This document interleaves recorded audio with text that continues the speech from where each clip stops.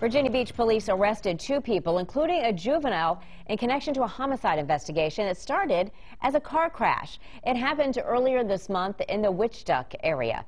10 on your sides, Julie Millay shows us the effect, the ripple effect that this has caused for those involved, plus the latest on the investigation. Julie? Steph, the tragedy affected two families, the family who lived in the home that that car ran into, and the family of the man who died inside that car. It happened on January 11th. That's when police tell us they initially were on scene to respond to a call about a car into a home on Featherstone Court. But when they tried to help the driver inside that car, they made a startling discovery. It looked like the driver had been shot before the crash happened. And that's when this turned into a homicide investigation. While they were working to help identify or help the driver who was identified as 33-year-old Gregory Smith, the car caught on fire, which then set that home on fire.